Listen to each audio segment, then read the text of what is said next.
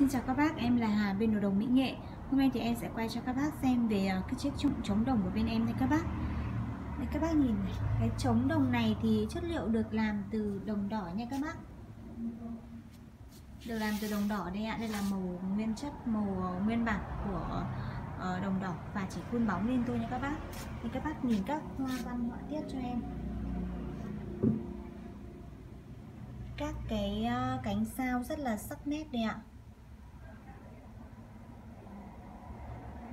Các cái hoa văn họa tiết xung quanh của chiếc trống này trên cái mặt trống này. À, đường kính thì ờ, mặt trống thì đang có đường kính là 43 cm và cao thì cao khoảng là 33 cm nha các bác.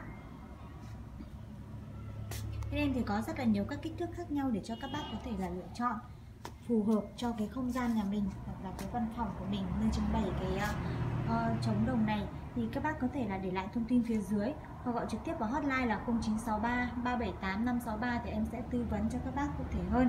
Cảm ơn các bác đã theo dõi video này. Hẹn gặp lại các bác vào các video tiếp theo.